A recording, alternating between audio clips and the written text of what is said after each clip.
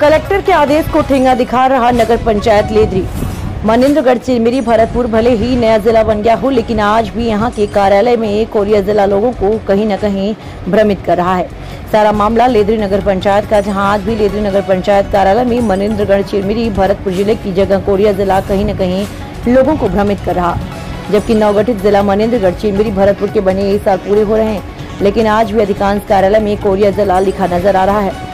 इसे स्पष्ट ज़ाहिर हो रहा है कि कुछ अधिकारियों को मनेन्द्रगढ़ चिरमेरी भरतपुर जिला रास नहीं आ रहा। यही वजह है कि आज भी दफ्तरों के कार्यालय में मनेन्द्रगढ़ चिरमेरी भरतपुर जिला की जगह कोरिया जिला कहीं न कहीं लोगों को भ्रमित कर रहा।